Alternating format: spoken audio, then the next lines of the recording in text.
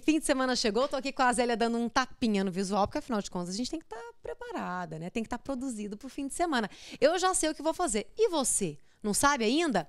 Te conto a partir de agora tudo que tá rolando aqui na capital. O fim de semana começa com rock. Paulo Ricardo se apresenta com a banda RPM hoje no Bolshoi. O show está marcado para meia-noite.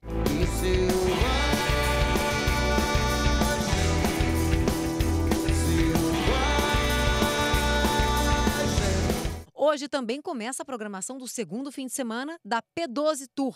Banda Eva é uma das atrações desta noite. E na hora marcada, a dona Alvorada chegou para se banhar. E nada pedir. Amanhã tem MC Kevinho. Deixa a aba, deixa a viola, deixa a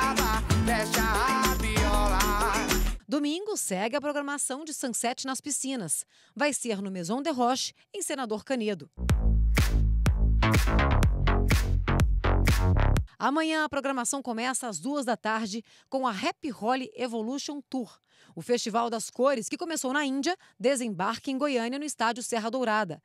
A festa começa às duas da tarde com vários DJs, comida, bebida e, claro, uma bagunça cheia de cores.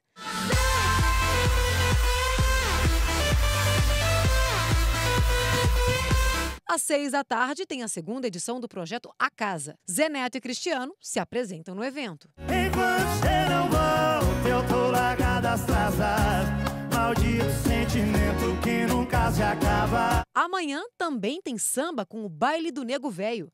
Alexandre Pires preparou um super show que acontece no Atlanta.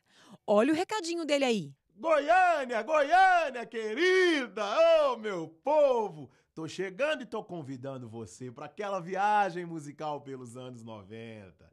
Sabe por quê? Porque no dia 18 de agosto tem o baile mais estourado do Brasil, o baile do nego velho, meu filho. Você não pode ficar fora dessa, né? É isso mesmo. Tô esperando todo mundo. Vem pro baile! Ê, Goiânia! Avisa aqueles olhos lindos que eu já cheguei. Quem gosta da cultura árabe vai ter no Goiânia Ouro o festival Belly Dance, com apresentações de danças do ventre e folclórica árabe. 14 professores vão se apresentar e vai ter ainda participação especial do músico egípcio Mahmoud Al-Masri. É sábado, às 7 da noite.